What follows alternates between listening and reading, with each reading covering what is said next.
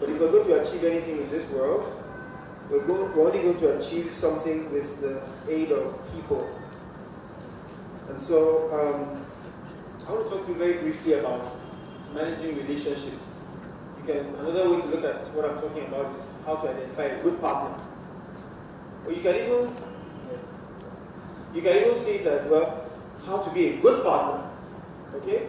So however you choose to look at it, I just want to talk to you about the cardinal things that a good partner should have.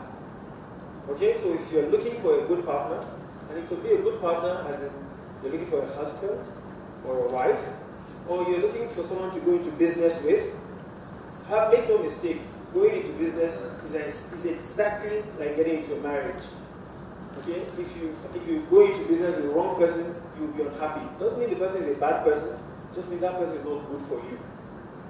Um, you see the chart I put up, it talks about relationships. You know, when you meet someone, you're really excited. It's called the romance stage. And then, as you go on, whatever it is you're in, whether it's business or some enterprise, reality hits you. The person says something or does something, it's called a reality check. And then you're like, ah, how can this person do this? That's you react. You might abuse each other, you know. Get out! What kind of rubbish? I must have made a mistake going into partnership with this person. And then there's some resistance. The person will call you, don't answer your phone, you don't feel like going to the office, blah blah blah. And then after a while you start thinking, well, maybe it's not so bad, maybe I could have that's reflection. And then you might say, well, we're stuck in this thing, so we might as well make it work. that's renewal. And the cycle will start all over again. For those of us who are married, we go through this cycle almost every day. You know? No matter how long you've been married for, you can still wake up and still at that end of this place. but anyway, so I want to talk about I want to talk about uh, managing relationships, what to look for in a good partner, or how to be a good partner, right, in a relationship. The first thing is taking responsibility. Have you noticed that in Nigeria, we don't take responsibility?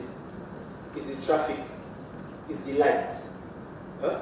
it's the arm robber, it's the one chance. It's never my fault. Okay? A good partner must learn to take responsibility. For instance, I set out to get here for a particular time. If I get here late, right, and there's traffic, even if it's unusual traffic, at least I should say, I'm sorry I'm late. I thought I set out early, but clearly not. I was caught in traffic, I should have gotten out earlier. You are taking responsibility. It shows respect for the other person. Okay, so a good partner must learn to take responsibility. And if if you're if you're looking at uh, marriage, for instance, a good husband, a good wife must learn to take responsibility, no matter what it is. There's a part that you have to play in it. Take responsibility for it. And then motivation. Then you know you, you, you watch these uh, talk shows and you see a man and a woman and they say, Why do you want to get married? And the man says, She makes me want to be a better man. And all the ladies in the audience go, Oh, so romantic. But the guy is just telling you that there's something wrong with him. You should never need external motivation to do the right thing. You should do the right thing because it's the right thing to do. Because the day he's unhappy with you, or she's unhappy with you, then she will not do the right thing. She will act badly. Okay? So a good partner will do the right thing. Right? Even when you are not there. So the motivation to do the right thing is something you look for in a relationship. Even when you're going, a lot of people are unhappy in the jobs, in, in the jobs that they're, they're currently employed to do because they have a boss who does not take responsibility. When things go well, yes, you know, that's yes, my guys, they take uh, they take instruction. When things fail, useless people. I don't know where I got them from. So we must learn to take responsibility, and then our motivation to do the right thing must always come from within us. You must never need external motivation to do what you know is right. You do what, to, what you do the right thing because it's the right thing to do. In Nigeria, one of the biggest problems we have is that people do not stick to agreements. You agree with somebody something, and then you go out and you realize I could have gotten a better deal. And then you just renege on your pledge or your promise. Or did I sign anything? Is the ring on my finger yet? Do? If you look at the history of Nigeria, Nigeria is the, the, the battlefield is littered with agreements that have been broken. And this is true whether it's in corporate, uh, the corporate environment, even with small enterprises, or even in political dispensation, you have people crossing the carpet and doing all kinds of things. A good partner will respect the agreement, even when it costs him. You know, for those of you who read the Bible, I think in Psalm 15, it says that when you give your pledge, you hold on to it, even if it is to your own hurt. Okay? You want a good partner who, who is committed to the terms of the agreement that he or she has entered into. Work ethic. Particular proverb in the Bible that talks about the sluggard. A good partner is not a lazy person.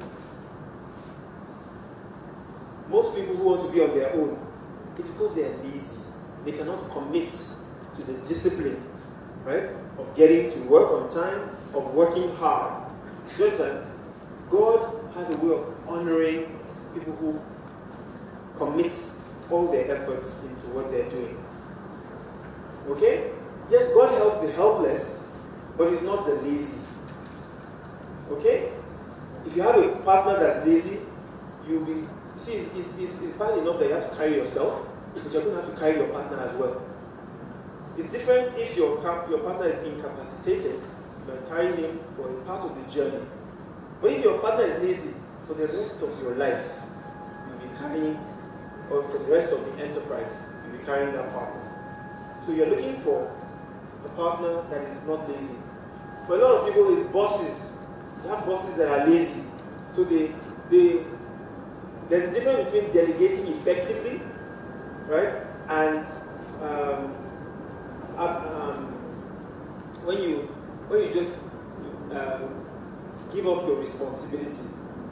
There's a difference between when you delegate effectively and when you just sit back and let everybody do the work. You don't even come in, you don't supervise, you don't help, you don't do anything. Okay?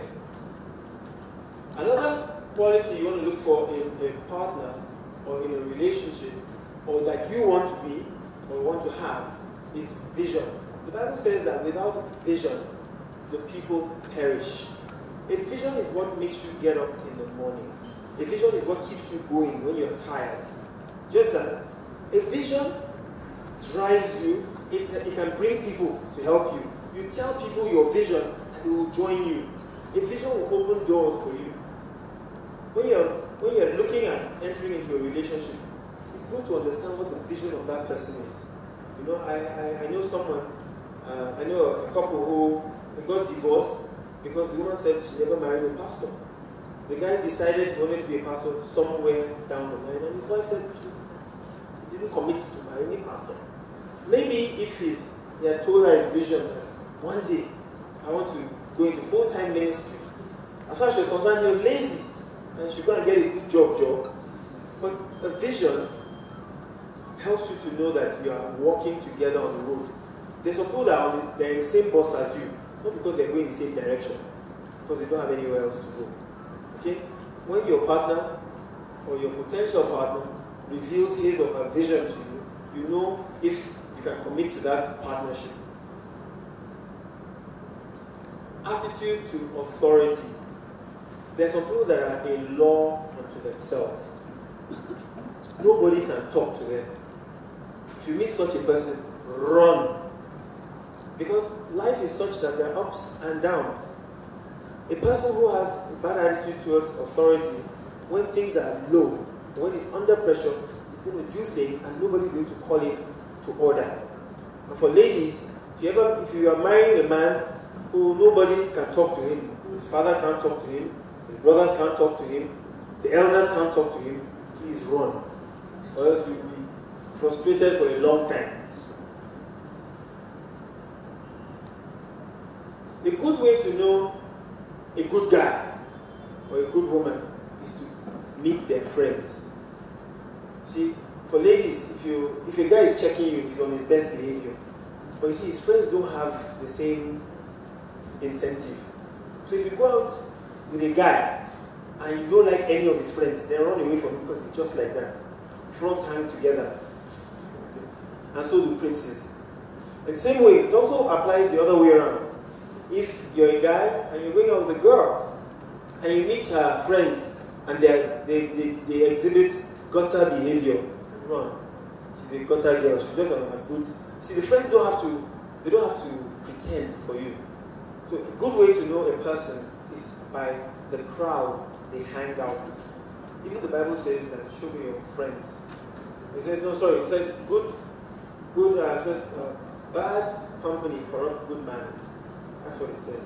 But the people you hang out with show a good picture of the kind of person that you are. So when you're looking to get into a relationship, for the person's friends. Even if you're going to work with, uh, with someone and he has some very strange friends, she has some very strange friends, stay away from that. It's a good indicator. You don't have to have, like Daniel, uh, finger on the wall to know that you shouldn't do some, to some things. Attitude to learning. You know, there are some people that no matter what you say, they have a quick retort. Some people cannot learn. They're either too proud or they're just too comfortable in their own little environment. There's a reason why they don't agree with anything. Okay? When you stop learning, you start dying. To live is to learn.